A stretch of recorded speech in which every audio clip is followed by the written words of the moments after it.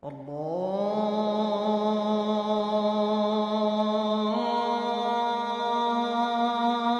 أكبر الله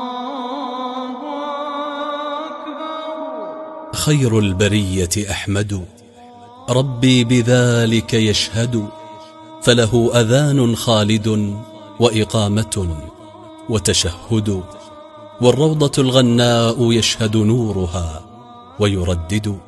والمسجد النبوي يشهد كله ويؤكد وفخامة الإسراء والمعراج ليلة يصعد والحوض ثم الكوثر الرقراق نعم المورد ثم الوسيلة والفضيلة والمقام الأمجد صلوا عليه وسلموا فهو الشفيع المرشد